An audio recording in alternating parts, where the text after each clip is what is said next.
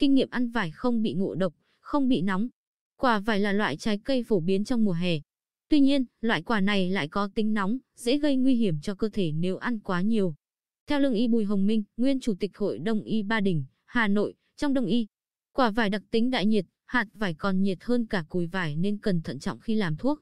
Cùi vải vị rất ngọt, không độc, có tài liệu viết có độc có lẽ do tính quá ngọt nóng của vải. Vải có tác dụng ích tâm, ôn tỳ, tư thận, bổ huyết, dưỡng can, trừ phiền khát, làm tỉnh táo tinh thần, minh mẫn trí óc, tăng sức lực, tăng thân nhiệt, trừ hàn, tráng dương, tiêu thủng, làm đẹp nhan sắc. Mặc dù vậy, chúng ta vẫn tránh ăn vải vì sợ nóng mà không hay biết trong loại quả này đem lại nhiều lợi ích sức khỏe và làm đẹp đến vậy. Thực tế thì bạn chỉ cần tuân thủ một số nguyên tắc khi ăn vải sẽ giúp không bị nóng trong, hạn chế tối đa nguy cơ nổi mụn, giúp duy trì sắc vóc hoàn hảo hơn. Vì thế, khi ăn vải, bạn nên lưu ý những nguyên tắc sau để không bị nóng trong người và ngộ độc. Ăn cả lớp màng trắng.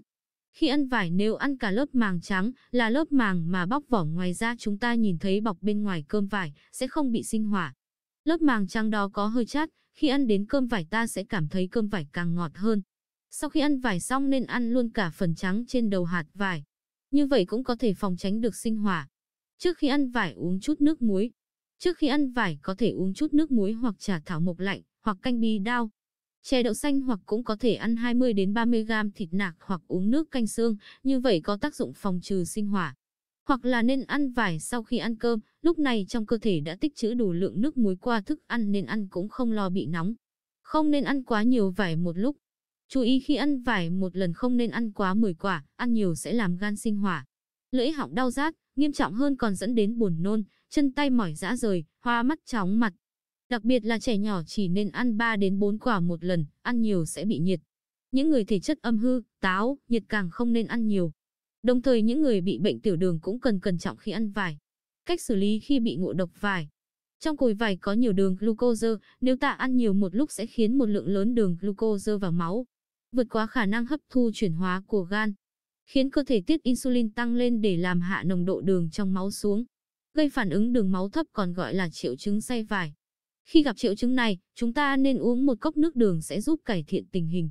Những người không nên ăn vải. Nếu ăn quá nhiều sẽ khiến đường trong máu cao, từ đó gây ảnh hưởng đến việc chuyển hóa glucose. Bệnh nhân tiểu đường nên hạn chế ăn vải vì chúng rất dễ khiến đường trong máu không ổn định, ảnh hưởng đến việc kiểm soát lượng đường trong máu, gây ảnh hưởng xấu đến sức khỏe. Vải thiều là hoa quả có tính nóng. Những người bị nóng trong nếu ăn nhiều vải sẽ càng sinh thêm nhiệt, gây cảm giác nóng nực, nổi mụn, nhiệt miệng, nổi ban đỏ. Bên cạnh đó, lượng đường cao trong quả vải khi đi vào cơ thể có thể khiến bạn bị rôm sẩy, mụn nhọt. Thậm chí có trường hợp dẫn tới những phản ứng tiêu cực như tiêu chảy, đau đầu, chóng mặt, chân tay bùn rùn. Ngoài ra, những người có các bệnh dễ nhiễm cảm, người đang mắc bệnh có đờm, người đang bị thủy đậu, mụn nhọt, rôm sẩy, chắp lẹo mắt cũng cần hạn chế mức tối đa việc ăn vải. Hệ tiêu hóa của trẻ còn rất yếu, chưa hoàn thiện trong khi đó vải lại chứa rất nhiều đường. Nếu cho trẻ nhỏ ăn nhiều vải sẽ dễ bị rối loạn chuyển hóa đường, gây nóng trong và xuất hiện rôm sẩy. Lượng đường cao trong quả vải khi đưa vào cơ thể trẻ em còn rất dễ tạo điều kiện cho các loại vi khuẩn sinh sôi, gây ra bệnh ở trẻ. Phụ nữ mang thai có thể ăn vải nhưng chỉ nên ăn 100 đến 200 gram vì nếu ăn nhiều sẽ khiến đường huyết tăng vọt. Khó sinh, tăng nguy cơ xuất huyết sau sinh và nhiễm trùng. Không nên ăn vải khi bụng rỗng, vải có chứa nhiều đường. Ăn vải khi bụng rỗng sẽ kích thích niêm mạc dạ dày, gây đau dạ dày, đầy hơi, Phụ nữ khi trước và trong kỳ đèn đỏ, một vài ngày trước kỳ kinh nguyệt, phụ nữ thường lo âu, trầm cảm, căng thẳng tinh thần do sự mất cân bằng hormone estrogen và progesterone. Do đó, khi đang trong giai đoạn này, chị em cần hạn chế ăn nhiều vải. Người dị ứng với vải, có nhiều người sinh ra đã bị dị ứng với một số loại trái cây. Trong đó có nhóm người bị dị ứng với vải.